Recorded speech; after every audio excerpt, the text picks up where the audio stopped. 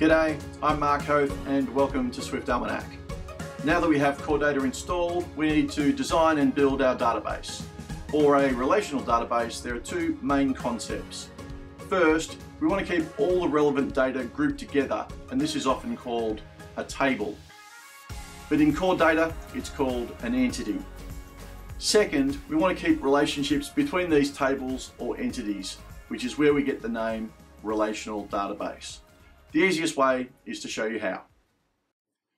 So leading off from where we uh, finished off last time, I've still got my copy of the final UI collection view and I've clicked on the final .xc data model D, it's all a bit of a mouthful. And you can see on the left hand side we've got entities, fetch requests and configuration.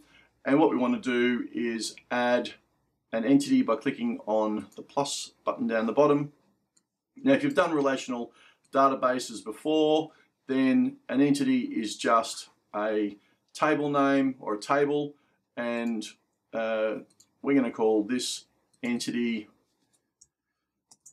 person. Uh, so that's the name of the table, and then people will have attributes and relationships, and we can add an attribute and rename it. So we're going to give them a name. And we can add another attribute. And we'll give them gender and another attribute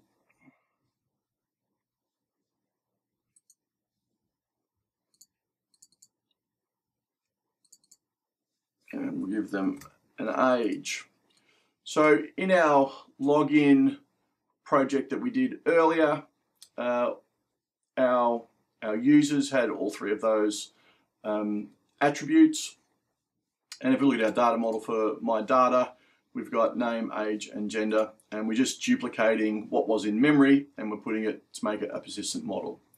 Now, we're getting some errors all around the place, must have a defined type. So over here on the right hand side, show the data model inspector. So we click on the data model. Now we can say whether we want this to be optional or not, but the attribute type for age is definitely an integer and it has a minimum and maximum value.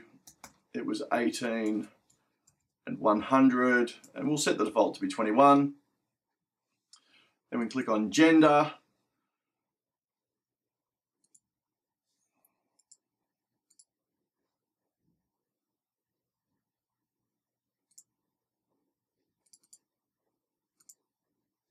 I might just change the editor style to table. Okay, so now we've got gender. You can see it's not defined, so we can just say that gender we only had male or female, it was a boolean. And name, of course, is a string. Then we will create another entity and we'll say that this is an address and the attributes for the address will be the street which will be a string um, the suburb, which will also be a string, the postcode or zip code if you're in America will be a string, and the country will also be a string. And what we'll also, in addition, what we'll do is we allow for multiple types of addresses. So we just call it the address type and we'll give that a value equal to an integer. And basically what we'll do is we'll have it if one one's your home address, two's your postal address, and three's your work address, just so we can show uh, relation, relationality. So we'll go back to the visual editor style, and now we've got these two um, two different tables, which are called entities, and these are the attributes. And now uh, the relationship, well, just like everything that's visual in Xcode, you hold down the control key and drag from one entity to the other and it will create a relationship. Now we can name the relationship so the person's um, we'll change this to address and going back the other way the address will be the person and what this allows us to do is one person uh, could have many addresses. We've already said that they could have a home address, a business address, and a postal address.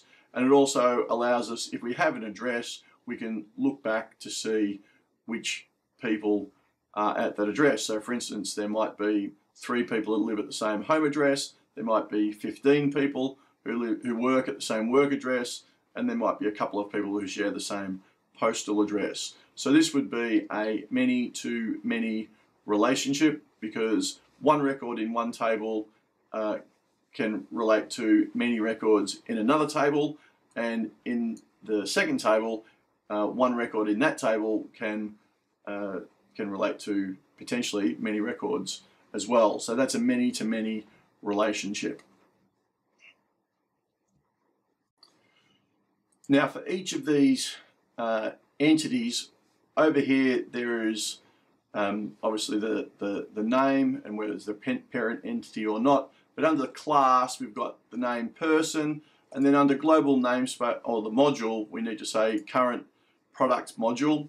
And for code gen, what we want to do to start off with is say manual or none. And we need to do that for both of the entities. And then if we build that, everything's going to build with no problems. So uh, in the next tutorial, um, I'll show you how we can access all of this data. Now that we've created some entities, attributes, and relationships, let's use Swift to make life easy for us. Watch closely in the next tutorial. If you have any questions about this tutorial, then please leave a comment below or hit me up on Twitter at Swift Almanac. Please subscribe to the channel, it's free, and check out our website at www.swiftalmanac.com. Thanks for watching, and we'll see you next time. Cheers.